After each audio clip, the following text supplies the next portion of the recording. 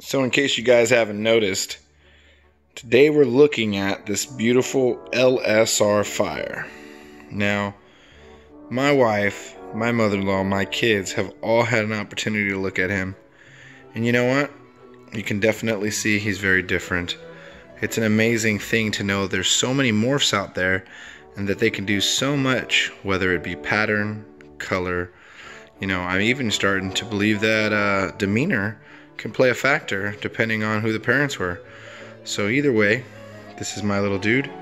He's an amazing guy, and uh, just wanted to share for a second. I hope you guys are having a great day. Remember, the person that you were yesterday, that person's gone. The person you are today, that person should be working on the best version of yourself for tomorrow. Much love, and I'll see you guys on the next one.